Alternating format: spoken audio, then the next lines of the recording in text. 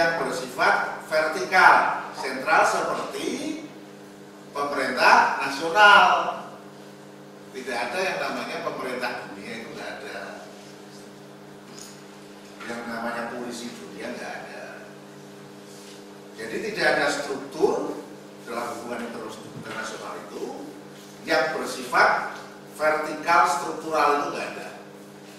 Karakter yang ketiga, hukum internasional itu mengedepankan tanggung jawab negara sebagai manifestasi tanggung jawab kolektif. Jadi kalau ada perjanjian internasional, pihak yang pertama-tama bertanggung jawab melaksanakan isi perjanjian itu adalah negara. Negara itu siapa? Eksekutif. Eksekutif itu siapa? Presiden. Kalau itu dalam negara yang memiliki presidensial. Kalau dalam negara yang menganut sistem parlementer ya perdana menteri. Kabinet. Perdana menteri yang memimpin kabinet dan menteri-menterinya. Jadi sifatnya itu kolektif negara yang bertanggung jawab.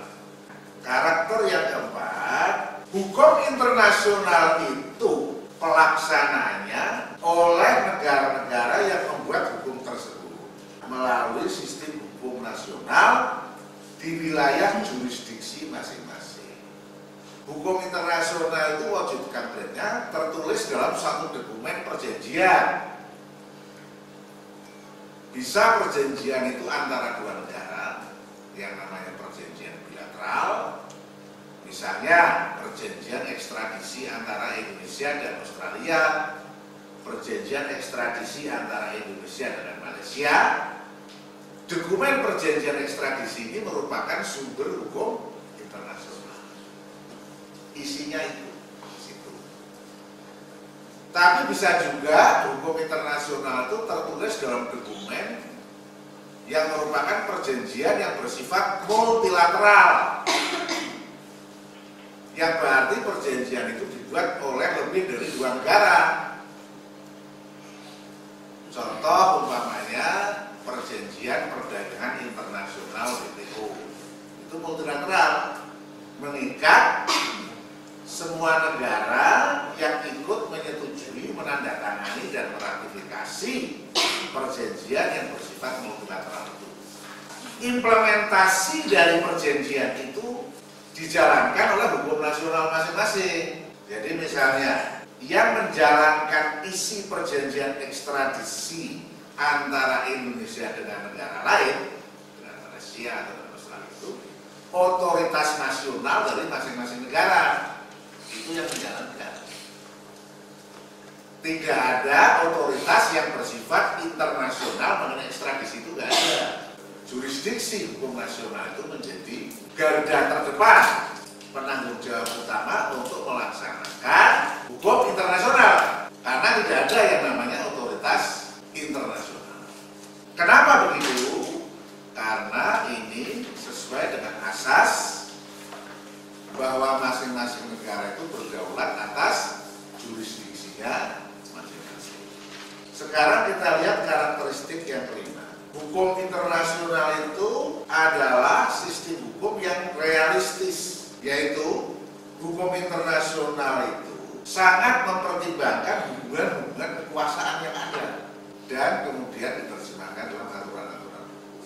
jadi tanpa ada kekuasaan politik yang mendukung kesepakatan itu tidak akan jalan itu. Perjanjian internasional itu bisa jalan bisa dilaksanakan kalau kedua negara yang menandatangani perjanjian itu rela menjalankan isi perjanjian itu. Karena dalam hukum internasional itu ada yang namanya asas resiprositas. Asas resiprositas atau asas timbal balik sebagai dasar untuk merumuskan hak-hak dan kewajiban kita karakteristik hukum internasional internasional ini harus saudara pahami dan saudara hafal. Saudara mengerti.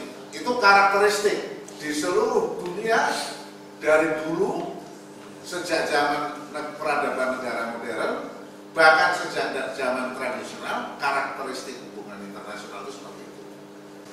Sekarang akan kita lihat hukum internasional Hukum internasional hak asasi manusia ini unik karena menimpangi karakteristik umum dari hukum internasional.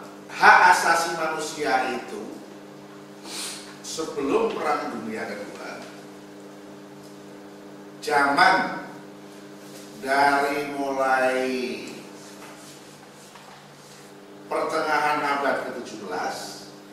itu kira-kira tahun 1648 itu tahun itu terjadi yang disebut perjanjian Westphalia.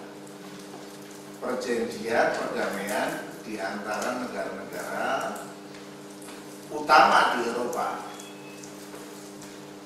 mengakhiri perang 100 tahun kalau nggak salah. Jadi sampai dari mulai tahun 1648 sampai berakhirnya Perang Dunia Kedua tahun 1945 berarti hampir 300 tahun hubungan internasional itu tidak mengenal hak asasi manusia. Nggak ada itu hak asasi manusia dalam hubungan internasional. Hubungan internasional itu semata-mata didasarkan kepada kepentingan ekonomi militer dan barangkali kebudayaan. Tapi lebih menonjol itu ekonomi, perdagangan dan militer. Hak asasi manusia itu hanya ada di dalam wilayah dalam negeri masing-masing negara Eropa. Jadi misalnya hak asasi manusia yang tertulis di dalam konstitusi kemerdekaan Prancis konstitusi Prancis atau hak asasi manusia yang tertuang di dalam deklarasi kemerdekaan Amerika. Atau pengakuan hak asasi manusia dalam dokumen-dokumen uh, revolusi yang agung di Inggris. Itu hanya berlaku di negara mereka sendiri dalam hubungan internasional itu tidak ada karena negara-negara itu walaupun mereka pada waktu itu sudah menjadi negara yang relatif demokratis, mereka tetap aja dalam hubungan dengan negara lain itu sifatnya hubungan kekuatan dan apalagi kalau dengan negara-negara berkembang itu menjajah. Penjajahan mereka di Asia dan Afrika itu terus berlangsung. Walaupun di dalam negeri mereka sudah ada deklarasi kebebasan hak asasi manusia. Menjelang Perang Dunia Pertama sudah ada pikiran supaya dalam hubungan internasional itu juga dipertimbangkan persoalan hak asasi manusia. Tapi sifatnya terbatas. Jadi misalnya sebelum Perang Dunia Kedua itu ada yang namanya organisasi internasional yang namanya Liga Bangsa-Bangsa. Liga Bangsa-Bangsa ini berhasil membawa negara-negara anggotanya untuk menyepakati satu melarang diskriminasi rasial. Dua, diskriminasi ras dan etnis nggak boleh. Ketiga, eh, toleransi di antara agama-agama yang berbeda. Jadi pada waktu menjelang dunia saat itu nampaknya sudah ada kesepakatan bahwa harus ada pengakuan dan perlindungan hak-hak dari golongan minoritas. Siapa itu golongan minoritas? Golongan minoritas berdasarkan ras, etnis atau agama. Ini untuk melindungi minoritas-minoritas etnis yang hidup di Turki, di uh, Eropa, ya. Mereka itu dilindungi oleh kesepakatan ini. Saudara masih ingat pada tahun 1915 itu dan sebelum tahun itu terjadi uh, diskriminasi dan penindasan yang bukan main khususnya terhadap orang-orang Armenia. Oleh Turki. Turki ini dulu menjajah sebagian Eropa Timur itu Bulgaria, Bulgaria sampai sebagian yang kemudian dikuasai oleh itu dijajah sama Turki dan itu orang-orang Armenia, orang-orang minoritas di situ itu mengalami penindasan. Dan sampai sekarang masih jadi masalah besar karena Turki ini dituduh melakukan kejahatan genosida terhadap orang-orang Armenia. Tapi tidak di orang-orang Armenia saja, tujuan ini juga untuk melindungi orang-orang Gypsy dan orang-orang yang yang mengalami diskriminasi dan penindasan di sejumlah wilayah di Jerman. Jadi sebelum Perang Dunia Kedua ada kesepakatan ini, tapi sifatnya terbatas. Setelah Perang Dunia Kedua berakhir, terjadi kesepakatan. Kalau begitu, ini diperakarsai oleh negara pemenang perang. Mereka tidak ingin memiliki apa kekejaman dan akibat-akibat yang luar biasa dari perangnya itu negara-negara itu sadar supaya hubungan internasional itu dilandaskan kepada hak asasi manusia. Jadi kalau saudara membaca piagam PBB, tujuan dari PBB itu salah satunya untuk pemenuhan hak asasi manusia. Jadi setelah piagam PBB kan kemudian ada deklarasi umum hak asasi manusia. Nah sejak itu hak asasi manusia itu menjadi landasan dan tujuan dalam hubungan-hubungan internasional. Lalu eh, hak asasi manusia itu secara resmi dibawa ke panggung internasional yang melandasi hubungan internasional. dokumen internasional yang namanya Deklarasi Universal Hak Asasi Manusia itu sebuah dokumen yang mengakui hak-hak asasi manusia yang meliputi hak, hak sipil dan politik dan hak hak ekonomi sosial dan budaya. Tapi itu merupakan deklarasi, bukan merupakan produk hukum yang bersifat mengikat. Nah, tetapi sebelum deklarasi umum PBB dibuat, sebelumnya sudah mulai ada pikiran supaya membawa HAM ini dalam hubungan internasional. Tadi sudah saya ceritakan, tetapi ada lagi yaitu konvensi ILO. Jadi konvensi organisasi perhubungan internasional itu sejak tahun 1919 itu sudah mulai membawa isu-isu hak asasi manusia, tapi terbatas hanya untuk hak-hak yang berkaitan dengan pekerja.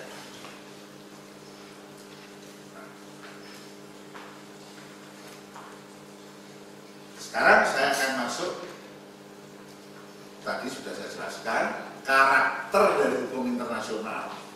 Itu Pertama sudah saya jelaskan karakter hukum internasional itu secara umum seperti itu. Lalu sekarang saya sudah jelaskan bagaimana itu hak asasi manusia dibawa ke panggung internasional dan menjadi dasar dalam hubungan-hubungan internasional. Sekarang saudara harus kenali dulu karakter dari hukum internasional. Kalau di dalam karakter hukum internasional yang umum itu yang diatur adalah perilaku negara terhadap negara lain. Perilaku negara yang satu terhadap perilaku negara lain dan sebaliknya jadi bersifat hak dan kewajiban bertimbal balik. Jadi kalau saudara membaca dokumen hukum internasional, apakah itu perjanjian ekstradisi, apakah itu perjanjian uh, perdagangan bebas ASEAN, apakah itu perjanjian uh, kerjasama diplomatik dan seterusnya. Itu isinya hak dan kewajiban dari masing-masing negara yang menyetujui dokumen itu. Tetapi di dalam dokumen-dokumen hukum internasional hak asasi manusia, karakter itu nggak ada. Yang ada hanya pengakuan kewajiban negara, yang ada hanya pengakuan hak-hak manusia sebagai individu dan kewajiban negara-negara yang menandatangani dan meratifikasi kovenan internasional itu isinya itu. Tidak ada sifat resiprositas. Ya. Jadi sifatnya itu e, satu arah. Ini kewajibanmu negara dijelaskan dalam dokumen itu. Inilah hak-hak asasi manusia. Inilah daftar hak asasi manusia. Lalu Inilah kewajiban negara. Kalau Anda negara menerima dan menyetujui kovenan internasional ini, Anda punya kewajiban ini. Itu tidak. Karena hukum internasional HAM itu mengatur perilaku negara terhadap individu, terhadap orang, apakah itu warga negara dia sendiri atau bukan yang tinggal di wilayah dia. Jadi itu hubungan antara negara dengan individu, dengan orang. Kalau itu menyangkut warga negara, hak-hak tertentu yang khusus untuk warga negara, misalnya hak untuk turut serta dalam pemilihan umum ya, itu kan tidak diberi semua orang kepada warga negara. Maka di sana disebutkan kewajiban negara terhadap itu apa? Tapi intinya itu dokumen hak asasi internasional itu mengatur perilaku negara terhadap individu orang yang tinggal di wilayah negara itu. Yang tertuang di dalam dokumen hukum internasional HAM itu apa? Pengakuan hak dari seorang manusia. Kalau itu kovenan internasional hak hak sipil dan politik, maka di sana ter, terdapat daftar panjang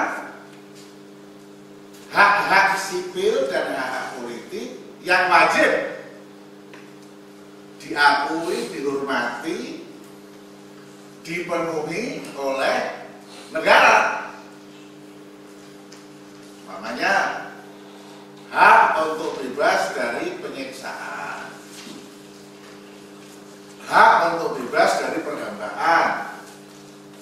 Ini hak sipil. Hak hidup dan seterusnya. Hak untuk hak atas kebebasan berekspresi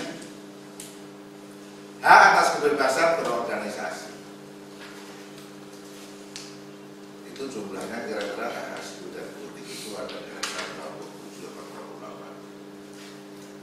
Bisa.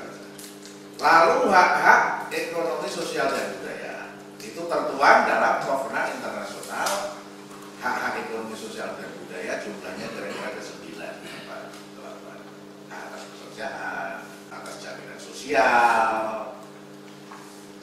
hak untuk mencapai derajat kesehatan yang tinggi hak atas pendidikan hak untuk terus menerus mencapai standar kehidupan yang layak itu tertuang di dalam Kovenant Internasional Hak Ekonomi Sosial dan Budaya.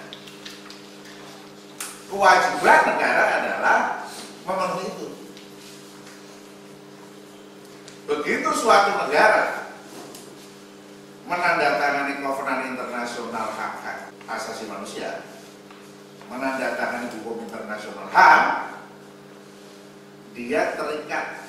Begitu dia menandatangani dan meratifikasi, itu harus dilaksanakan. Nah, sekarang pertanyaannya,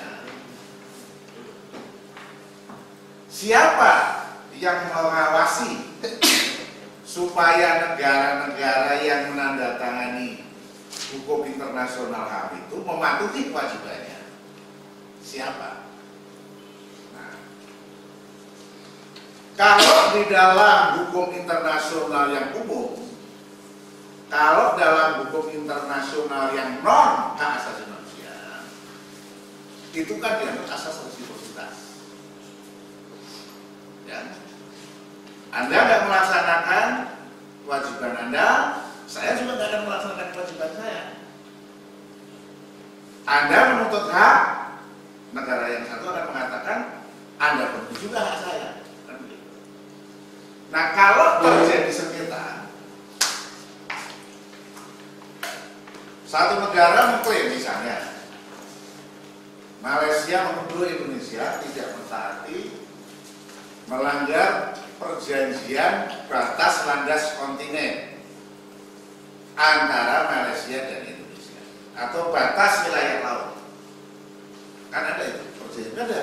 Misalnya contohnya Indonesia punya perjanjian perjanjian landas kontinen antara Indonesia dengan Vietnam. Karena landas kontinen kita itu ketemu. Landas di bawah laut ini kan landas kontinen itu kan itu kan kalau dalam hukum laut itu suatu garis yang menunjukkan kesambungan dari kelanjutan dari suatu kedaulatan negara di bawah laut kan kita juga punya perjanjian internasional landas kontinen dengan India nah kalau satu negara melanggar perjanjian itu terus menerus atau misalnya perjanjian uh, batas laut. Ya. Kalau satu negara mendalilkan itu, bagaimana cara penyelesaiannya? Biasanya penyelesaiannya diselesaikan lewat politiknya. Kalau tidak bisa, sengketa itu hanya bisa dibawa ke Mahkamah Internasional. Kalau dua negara itu setuju untuk menyelesaikan lewat Mahkamah Internasional. Kalau satu negara tidak setuju nggak bisa diselesaikan. Dulu Malaysia dengan Indonesia pernah sengketa soal pulau Sipadan dan Ibukan. Nah, kemudian sengketa itu kemudian diselesaikan dalam lalu perundingan sepakat kalau begitu kita selesaikan nanti lewat Mahkamah Internasional. Lalu dua negara itu membuat kesepakatan untuk menyelesaikan sengketa itu di di Mahkamah Internasional. Kalau tidak ada kesepakatan itu nggak bisa. Ini prinsip resiprositas, prinsip kedaulatan. Misalnya negara sekarang memperebutkan kepulauan Spratly. Ya, di Cina, Cina mengklaim itu wilayah saya, Filipina juga begitu, Vietnam juga, Brunei juga mengklaim. Karena itu banyak bias minyak. Sekarang eh, Cina sudah mulai mau mengancam dengan mengirim armada laut ke situ. Vietnam juga tapi kemudian mereka berunding. Diselesaikan lewat perundingan. Untuk bagaimana ini? Karena sebanyak yang mengklaim. Apakah mau dibentuk badan bersama untuk memanfaatkan pulau itu dan mengatur pembagiannya atau bagaimana? Tapi mereka belum bersepakat untuk membawa itu ke Mahkamah Internasional. Dan sepertinya mereka tidak mau melakukan Nah kalau begitu, negara-negara yang bersengketa itu nggak bisa tiba-tiba membawa salah satu dari negara itu menggugat di Mahkamah Internasional nggak bisa.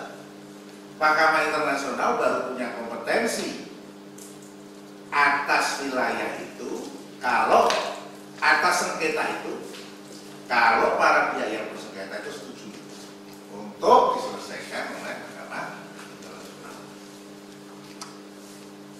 Kalau di bidang hukum itu hukum internasional non HAM. Kalau di bidang hubungan dagang internasional misalnya sengketa negara-negara anggota WTO Organisasi Perdagangan Internasional satu negara mendalilkan bahwa Indonesia ini melakukan dumping ya maka sengketa itu ada penyelesaian forumnya di WTO forum penyelesaian sengketa dagang itu diatur dalam perjanjian jadi itu hukum internasional non HAM. Sekarang kalau pelanggaran hukum internasional HAM gimana cara penyelesaiannya? Di dalam hukum internasional hak asasi manusia tidak ada mekanisme negara yang satu menuduh negara lain melanggar HAM kemudian melaporkan ke forum internasional itu tidak ada. Kenapa? Karena negara-negara itu saling saling e, memahami. Begini maksudnya. Tadi saya hukum internasional hak asasi manusia itu isinya itu pengakuan HAM dan kewajiban negara. Ya kan? masing-masing negara itu punya kecenderungan kalau bicara tentang hukum internasional untuk mengurangi atau melemahkan kewajiban-kewajiban hukumnya. Negara-negara anggota PBB yang menandatangani hukum internasional HAM itu kecenderungannya untuk kalau bisa kewajiban yang dibebankan kepada dia itu tidak menjadi terlalu berat kan begitu? Ada kecenderungan begitu.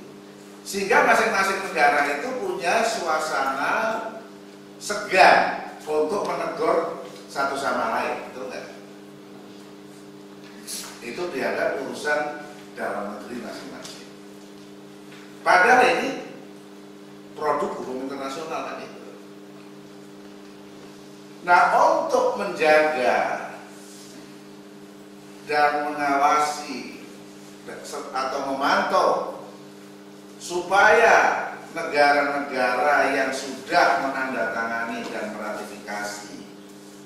hukum internasional HAM itu mematuhi Covenant Internasional HAM itu dalam rangka PBB itu masing-masing Covenant Internasional HAM itu mendirikan yang namanya Badan Pemantau Perjanjian. Itu yang disebut bahasa Indonesia itu Treaty Monitoring Bodies. Covenant Internasional Hak Hak Sipil dan Politik itu ada yang namanya Human Rights Committee, Komite HAM. Kalau untuk Covenant Internasional Hak Hak Ekonomi, Sosial dan Budaya itu ada Human Rights, Human Rights Monitoring Bodies yang namanya Komite Hak Hak Ekonomi, Sosial dan Budaya kalau itu menyangkut hak-hak perempuan, hak perempuan untuk bebas dari segala bentuk diskriminasi dalam rangka SEDO, itu ada sendiri komite SEDO. Nah, komite-komite ini akan memantau sejauh mana negara-negara yang sudah menjadi peserta Covenant Internasional HAM itu mematuhi. Caranya di mana? Caranya sudah diatur di dalam setiap periode tertentu ya, negara anggota peserta Kovenan Internasional itu diwajibkan membuat laporan laporan kemajuan atas pelaksanaan Kovenan Internasional HAM yang sudah dia ratifikasi. Nah, jadi Indonesia ini karena sudah menandatangani dan meratifikasi sejumlah Kovenan Internasional HAM antara lain Kovenan, Kovenan Internasional Hak-Hak Sipil dan Politik, Kovenan Internasional Hak-Hak Ekonomi Sosial dan Budaya, Indonesia itu setiap tahun, setiap periode tertentu lah, nanti bisa dicek itu, itu membuat laporan ke PBB, ke Badan Pemantau ini. Nah, setelah laporan itu disampaikan, lalu pihak Komite HAM akan mengagendakan suatu sidang untuk membahas laporan-laporan yang disampaikan oleh negara-negara peserta. Dalam pembahasan itu akan dipersoalkan. Nanti saudara baca. Misalnya yang pengalaman. Indonesia itu dalam laporannya pada Komite HPBB itu kecenderungannya, dan ini bukan hanya Indonesia saja, hampir semua negara itu melaporkannya itu yang sifatnya normatif bukan kasus. Jadi misalnya normatif itu Indonesia sudah meratifikasi Kovenan Internasional Hak Sipil dan Politik dan untuk itu telah membuat undang-undang undang-undang ini yang dalam rangka mengimplementasikan itu. Nah, jadi laporannya itu normatif. Tapi Komite HPBP itu dapat informasi tidak cukup dari negara saja, hanya LSM juga kasih laporan itu. Jadi ketika pembahasan itu, pembahasan laporan Indonesia, pihak Komite HPBP akan nanya kasus. Bagaimana itu kasus penembakan para demonstran di Papua, Bagaimana itu demonstran kalau dihadapi dengan kekerasan itu akan tanya begitu. Dan Indonesia harus jawab. Nah, jadi pendekatan dari komite-komite HPBP dalam upaya untuk memastikan adanya kepatuhan itu sifatnya persuasif, bukan mengadili. Jadi kalau misalnya eh, Indonesia ada ada kesulitan apa kok negaramu tidak bisa menjalankan kewajiban ini nanti dijelaskan. Kalau ada kesulitan, apa perlu kita bantu gitu, sifatnya begitu. Jadi bukan semacam pengadilan. Sistem hukum internasional itu perangkat hukum internasional yang mengatur mengenai pengakuan hak-hak asasi manusia dan menetapkan kewajiban-kewajiban negara untuk memenuhi hak dalam suatu sistem hukum internasional yang tertuang di dalam produk-produk hukum internasional yaitu kovenan-kovenan internasional yang dikeluarkan PBB. Indonesia ini terintegrasi ke dalam sistem hukum internasional HAM itu sejak tahun 1950 yaitu ketika Indonesia secara resmi menjadi anggota ke-60 Perserikatan Bangsa-Bangsa. Begitu suatu negara setuju menjadi anggota PBB dan diterima oleh PBB, dia secara formal sudah terintegrasi di dalam sistem hukum internasional HAM. Negara yang mau jadi anggota PBB, syarat yang dia harus menerima piagam PBB. Dia harus menerima deklarasi umum universal PBB itu nggak bisa ditawar. Kalau suatu negara tidak bersedia menerima piagam pendirian PBB, dia akan ditolak. Nanti saudara baca tujuan dari didirikannya PBB itu dalam piagam PBB itu apa? Satunya memajukan penghargaan, penghormatan dan pemenuhan hak asasi manusia. Jadi Indonesia ini sudah terintegrasi ke dalam sistem itu sejak tahun 1950. Nah, seluruh ketentuan-ketentuan yang tertuang dalam piagam PBB itu mengikat Indonesia. Nah, dalam perkembangannya kita tahu hukum internasional hak asasi manusia itu dibuat secara bertahap, tidak sekaligus. Deklarasi Umum Hak Asasi Manusia PBB dibuat tahun 1948 bulan Desember. Tapi deklarasi itu bukan merupakan produk hukum yang mengikat namanya aja cuma deklarasi. Dia secara tahun 1966 lahir produk hukum internasional HAM yang utama yaitu Kovenan Internasional Hak-Hak Sipil dan Politik dan Kovenan Internasional Hak-Hak Ekonomi, Sosial, dan Budaya. Itu tahun 66 dua kovenan internasional itu disahkan oleh Majelis Umum PBB. Sebagai dokumen hukum, dia hanya akan mengikat setelah ditandatangani dan diratifikasi oleh 35 negara sekarang ini yang sudah menandatangani dan meratifikasi dua dokumen itu sudah di atas 140-an.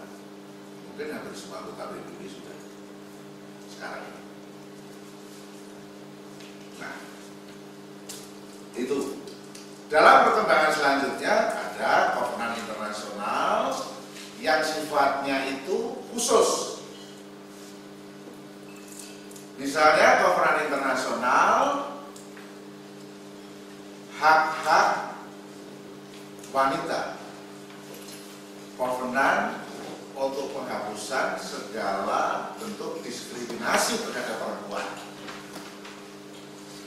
Kovenan internasional penghapusan segala bentuk diskriminasi rasial Kovenan internasional mengenai pengakuan dan perlindungan hak anak dan seterusnya ini banyak. Banyak. Secara gradual.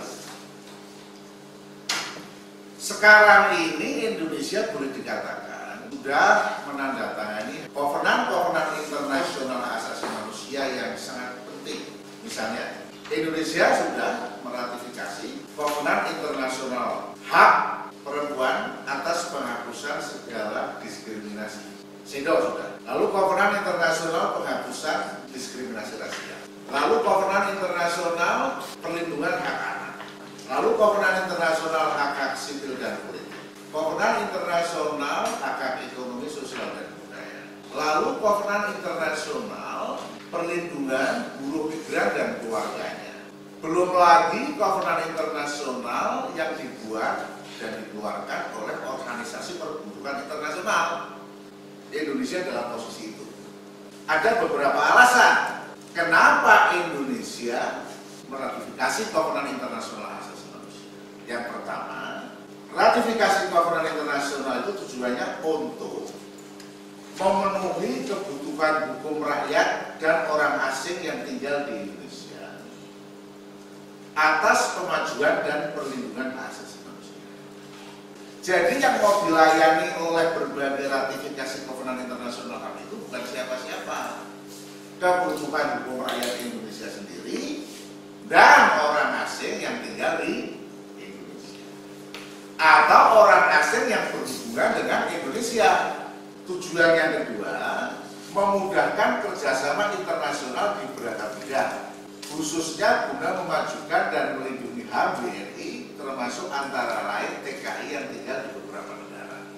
Kalau kita itu sudah meratifikasi Kovenan Internasional hukum kita itu standar, memenuhi standar HAM internasional. Itu akan memudahkan kita kerjasama dengan negara yang maju, dengan negara yang maju. Misalnya gini, kerjasama dalam pengembangan sumber daya manusia antara Indonesia dengan Jerman, Indonesia dengan Korea, Indonesia dengan Amerika. Itu berarti apa? Dalam rangka kerjasama itu para ahli dari Amerika akan datang ke Indonesia untuk melatih orang-orang Indonesia atau orang Indonesia akan berlatih di Amerika kan itu. Nah orang-orang Amerika yang akan masuk ke Indonesia akan tanya, saya itu di negara itu didiskriminasi ya. Kalau saya tinggal di kampung kan saya itu aman ya kan itu. Apa saya boleh beli rumah di Indonesia kan itu. Nah kalau kita sudah meratifikasi Covenant International HAM, misalkan Covenant International Hak Sipil dan Politik atau Covenant International Hak Ekonomi Sosial Budaya, kita bisa mengatakan dijamin. Karena hukum internasional kami ini berlaku di negara kami. Itu diartikan itu lalu mereka itu punya percaya diri kan itu. Atau ada investor dari luar negeri ingin masuk ke Indonesia itu nanti kalau saya menginvestasikan uang saya di Indonesia harta saya itu aman nggak? Apa bisa semau maunya disita oleh pemerintah kami kan itu? Kamu jangan khawatir, kita sudah ikut kovenan ini kan itu. Jadi memudahkan kerjasama. Pada sisi lain, TKI TKI kita yang ada di mana-mana itu juga akan lebih terlindungi. Karena kita bisa bicara dengan negara yang jadi tuan rumah TKI Malaysia. Kami sudah ikut Kovenant Internasional Perlindungan Alam kamu harus lindungi juga. Saya tahu kamu belum ikut meratifikasi kan itu misalnya tapi kalau sampai warga negara saya tersiksa saya bisa mengatakan isu kami ini kan itu jadi dengan begitu Indonesia bisa mendorong negara lain yang menerima para TKI itu untuk ikut menghormati HAM kan itu. Ini penting. Jadi yang memerlukan ratifikasi Kovenant Internasional kami itu bukan orang asing, bukan Amerika, rakyat kita sendiri. Itu kepentingan nasional di situ. Ini yang suka salah dipahami.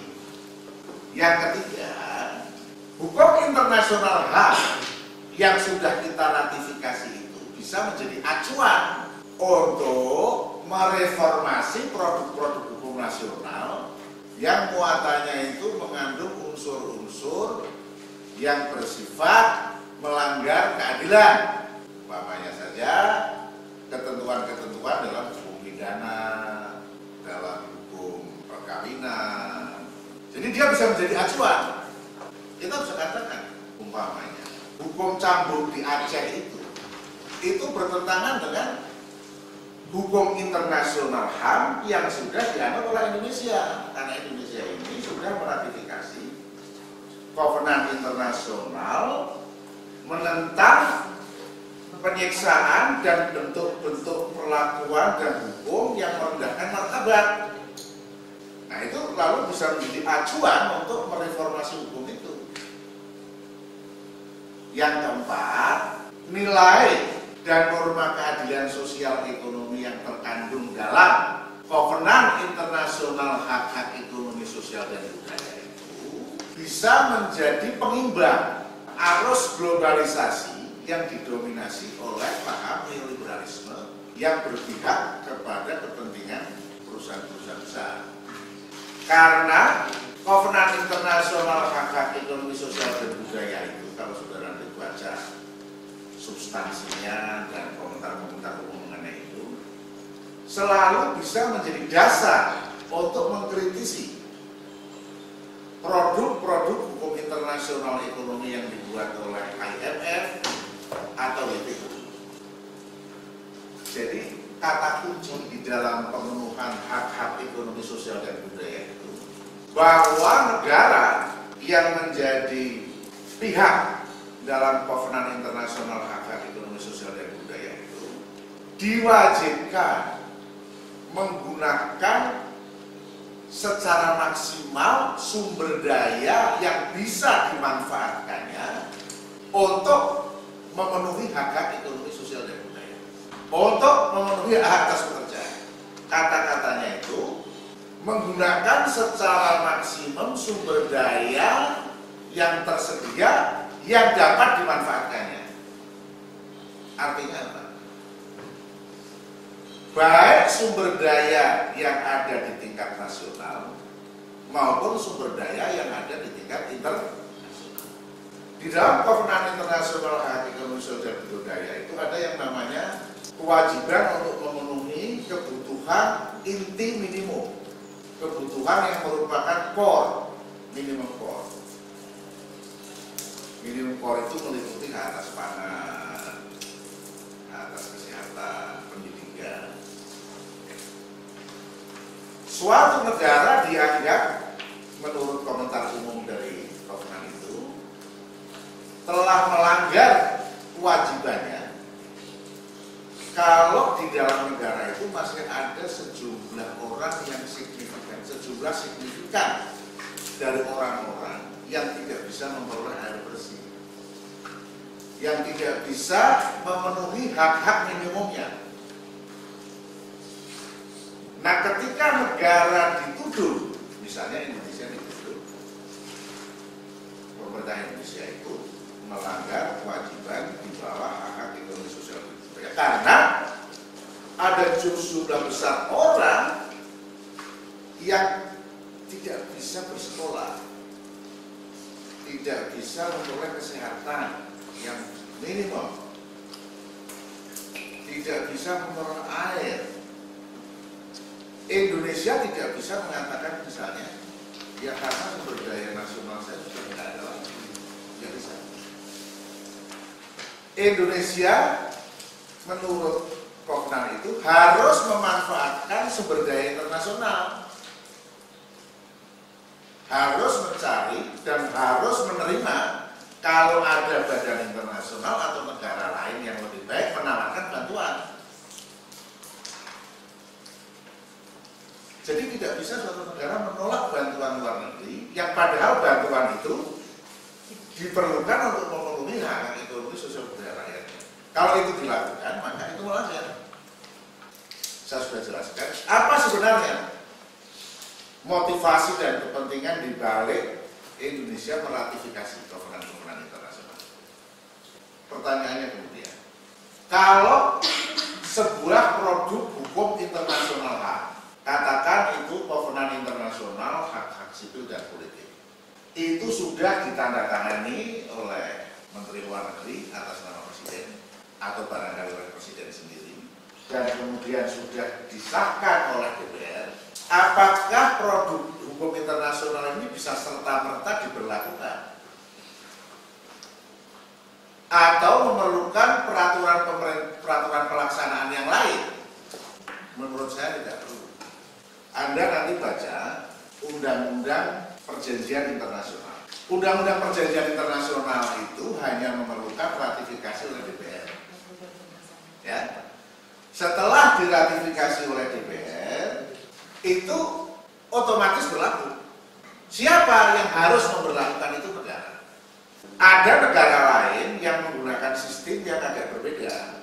Kovenan internasional itu baru berlaku di tingkat nasional kalau dia sudah diberlakukan oleh undang-undang secara.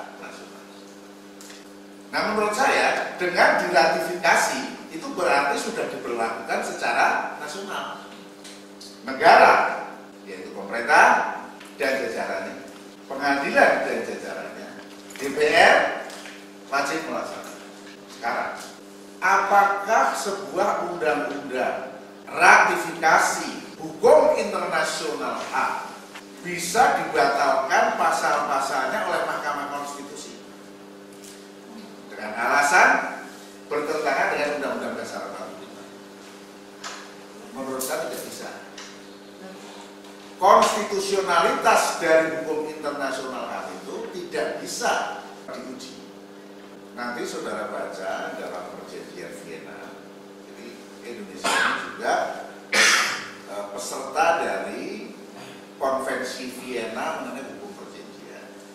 Suatu negara yang menandatangani suatu perjanjian internasional tidak boleh menggunakan alasan bahwa negara itu tidak bisa memenuhi kewajiban internasionalnya karena hukum internalnya, hukum dalam negerinya menghalangi pelaksanaan hukum internasional. Jadi suatu negara yang sudah menandatangani wajib melaksanakan. Jadi hukum internasional ini di atas konstitusi. Konstitusi itu yang harus menyesuaikan dengan hukum internasional. Jadi kalau ada pasal-pasal dalam konstitusi yang isinya muatannya itu bertentangan dengan HAM, itu harus dirubah konstitusinya. Karena itu di dalam fenomena sejak gelombang demokrasi, gelombang ketiga demokratisasi dunia sejak tahun 90-an itu terjadi fenomena yang namanya konstitusionalisasi hak asasi manusia. Konstitusionalisasi hak asasi manusia itu artinya suatu gejala di mana sebagian besar negara dan hampir semua negara dunia memasukkan daftar hak asasi manusia ke dalam konstitusi nasionalnya. Hampir semua konstitusi negara di dunia, termasuk di ASEAN ini, yang isinya konstitusi itu memuat daftar hak asasi manusia. Itu tujuannya apa? Tujuannya standar setting supaya konstitusinya itu mengakomodasi perkembangan di tingkat internasional. Yang saya sampaikan ini suatu pengantar, nanti pendalamannya saudara harus membaca sendiri. Misalnya Kovenant Internasional Hak Asasi dan Politik, itu substansinya apa? Aplikasinya bagaimana? Di tingkat nasional seperti apa? Terakhir saya akan tutup dengan kecenderungan dalam hukum internasional HAM. Tren, ya, tren hukum internasional hak asasi manusia sekarang ini. PBB ini sekarang kecenderungannya menolak argumen yang didasarkan kepada kedaulatan negara. Maksud saya, kedaulatan negara itu tidak bisa diajukan sebagai argumen untuk menolak berlakunya hukum internasional asasi manusia. Itu kecenderungannya sekarang. Jadi kalau misalnya ada suatu negara melakukan pelanggaran HAM, sekarang sudah diterima di dalam praktek, PBB ataupun negara lain anggota PBB bisa ikut mempersoalkan, mempertanyakan kenapa di negara Anda kok ada pelanggaran HAM. Itu sudah terjadi. Seperti yang kita lihat misalnya dalam kasus Indonesia beberapa tahun yang lalu PBB mempersoalkan. Tapi juga dengan Libya, dengan Syria, dengan Pakistan. Ini sudah jadi concern internasional. Kalau ada suatu negara eh, pelanggaran terhadap hukum internasional HAM itu sifatnya masif dan jadi misalnya penyiksaan terhadap kaum perempuan atau terhadap pesakitan atau terhadap eh, tersangka itu terjadi meluas di seluruh negara itu dan dan merupakan praktek yang umum dilakukan oleh aparat penegak hukum ini bisa mengundang intervensi. Suatu negara tidak bisa lagi menolak intervensi internasional ketika negara di negara itu ada pelanggaran HAM yang sifatnya itu masif. Misalnya di negara itu ada kelaparan yang meluas, ini pelanggaran HAM. Negara itu nggak bisa lagi menolak untuk menerima bantuan internasional, nggak bisa. Karena itu kewajiban untuk diterima. Ini contoh misalnya. Beberapa ketentuan di dalam hukum internasional hak asasi manusia itu ada yang bersifat ekstrateritorial, menjangkau melalui wilayah negara itu. Misalnya kalau saudara baca ya pasal 2 Covenant Internasional Hak Hak Sipil dan Politik. Masing-masing negara pihak berusaha untuk menghormati dan memastikan semua individu di dalam wilayahnya dan tunduk terhadap jurisdiksinya hak-hak yang diakui dalam kovenan ini. Itu jelas. Ini ada kasus namanya Dalia Seridas de Lopez melawan Uruguay. Aparat keamanan negara Uruguay menangkap warga negaranya di Argentina. Lalu diculik di Papua. Penangkapan dan penculikan itu terjadinya di Argentina bukan di Uruguay. Ya. Nah korban ini kemudian menggugat ke Komite HAM. Komite HAM menyatakan benar. Walaupun itu terjadi di luar negara Uruguay, ya, kan Argentina. Argentina dinyatakan bersalah melanggar kovenan internasional. Itu ekstrateritorial. Jadi misalnya ada aparat hukum Indonesia mengejar orang Papua ke PNG. Ya. Karena diduga orang Papua ini mau melakukan kekerasan. Kemudian ditangkap dan diculik ya di wilayah PNG, dibawa pulang ke Indonesia kan itu. Tindakan ini melanggar kovenan internasional hak asasi dan politik. Walaupun terjadinya di luar Indonesia. Penangkapan dan penuntukannya kan terjadi di Papua, jadi di PNG kan. Ini sifat ekstrateritorial dari kovenan internasional.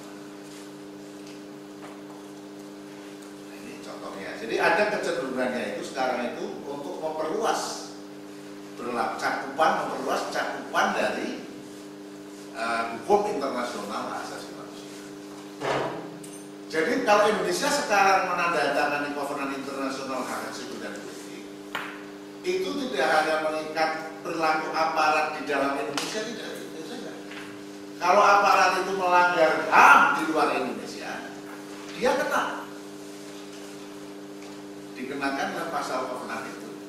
Itu sifat ekstra teritorialnya ini kecenderungannya.